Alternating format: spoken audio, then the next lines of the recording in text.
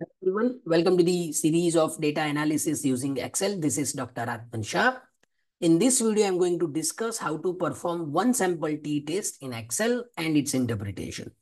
You can find more videos on SPSS, RStudio, econometrics, mathematical economics, and economics on my YouTube channel. So don't forget to subscribe and press the bell icon.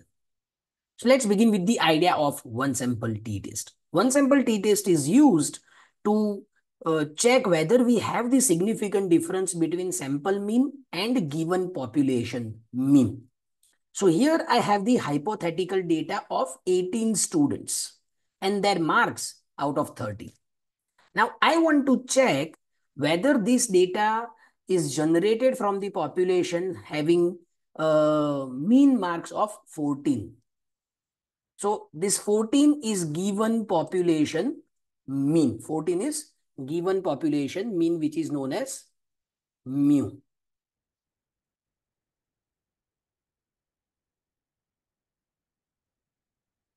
And therefore, we can uh, perform one sample t-test. So what is our uh, null hypothesis in this case? The null hypothesis says that H naught is equal to mu is equal to 14 and alternative hypothesis is mu is not equal to 14. That is population mean is significantly different from 14. Now there is no direct command to uh, perform the one sample t test and therefore we need to calculate it manually. So what is the formula of t statistic? So t statistic is equal to x bar minus mu upon s under root n. So therefore, we need these values. Value of x bar, mu, s, that is standard deviation, and n is sample size. So first, we are going to find the value of sample mean. So the command is average, and then you select the range. This is sample mean. Population mean is given, that is 14. Then we find standard deviation. The command or the function is stdev. And then select the range.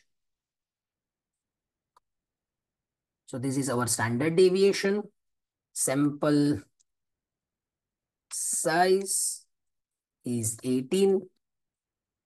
From sample size, we can find the degree of freedom, which is n minus 1. So that is 17. And now we want root n, that is square root. Square root of n, which is equal to sqrt. And then select the. So now we have x bar, mu, s, and under root n. So therefore, we can find the t statistic which is equal to x bar minus mu.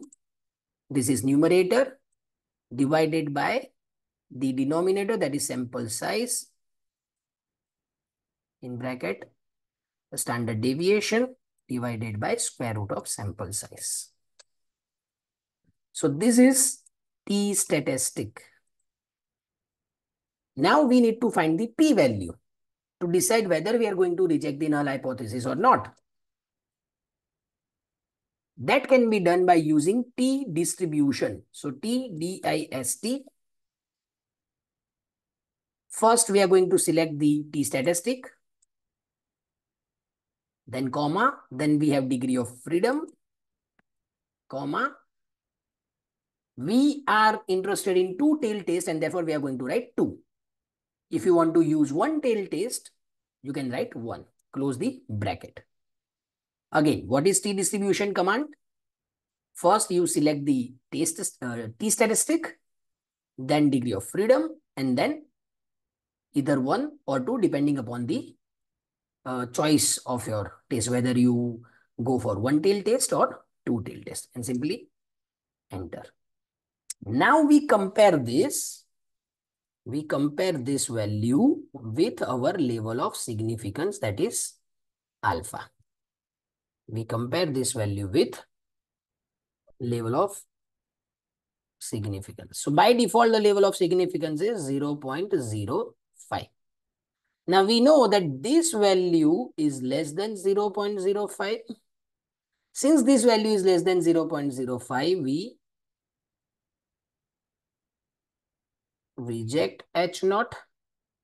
And if we reject the H naught, that means mu is not equal to 14. We reject the H naught and therefore mu is not equal to 14. So this is how we perform one sample t-test in Excel. If you find this video useful, kindly like, share, comment and subscribe. Thank you.